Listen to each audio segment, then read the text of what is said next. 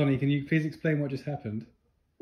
Explain what just happened. I don't think anyone's gonna believe us. That cup literally just moved from the middle of the table. I'm not fucking shitting you. That just happened. That just fucking happened. Look at the fucking.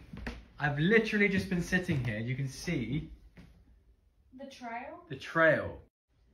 Don't know if you can see the light. Oh my fucking god. That it's never happened to me before. Jesus, if you're real, move the fucking cup. maybe maybe we have superpowers. Nah, that was so weird. That was really weird. Oh my fucking god. That's some weirdo shit. Stop! Jesus!